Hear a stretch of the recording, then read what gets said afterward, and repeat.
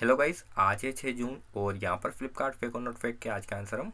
देख लेते हैं तो गाइज यहाँ पर जो फेक और नोट फेक के तीनों क्वेश्चन थे उनके आंसर आपकी स्क्रीन के